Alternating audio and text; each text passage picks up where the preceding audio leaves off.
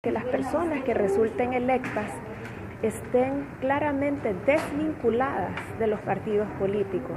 La importancia de la no afiliación política en la elección de los magistrados de la Sala de lo Constitucional es clave para el proceso que tendrá en sus manos la Asamblea Legislativa, dice Claudia Omaña, miembro del Consorcio por la Transparencia.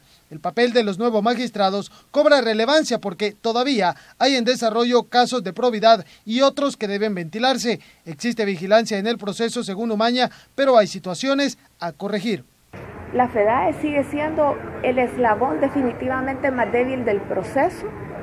En el Consejo Nacional de la Judicatura hemos encontrado avances, pero también hasta cierto punto algunos criterios muy tibios. Y por supuesto que en el seno de la Asamblea Legislativa hay grandes áreas de riesgo. Algunos de los casos en la oficina de probidad son el del exdiputado y actual presidente de Proesa, Cifrido Reyes, y el del diputado Guillermo Gallegos. Además, está el de Ana Vilma de Escobar y el de Nayib Bukele.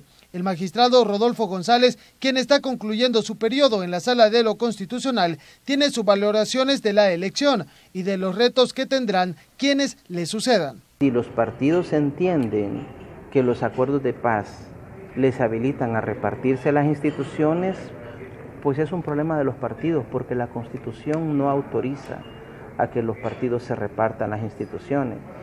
Eh, el fiscal no trabaja para un partido, los magistrados de la Corte no trabajan para un partido, ni el eh, presidente del CNJ o la Corte de Cuentas trabajan para el país.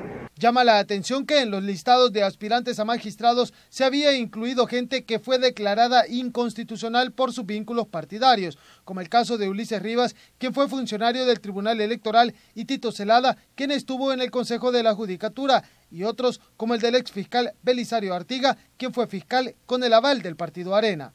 Con imágenes e informe de Antonio Valladares, Noticiero Hechos.